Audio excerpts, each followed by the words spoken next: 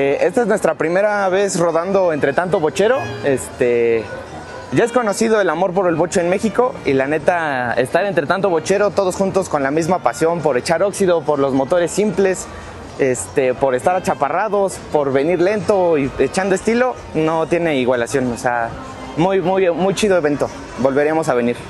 Del bocho en general, pues que es un coche clásico y seguirá siendo pues toda la vida porque ve desde qué este tiempo existen los Volkswagen y a la fecha aquí aquí tantísimo Volkswagen, me parece que hay más de mil Volkswagen ahorita en la desde la explanada hasta no sé hasta qué calle vayan a haya bochitos, pero hay más de mil.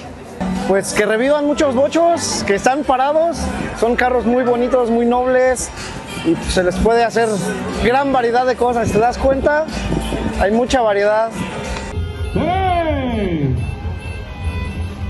Y así festeja Toluca el día del Bocho 2024.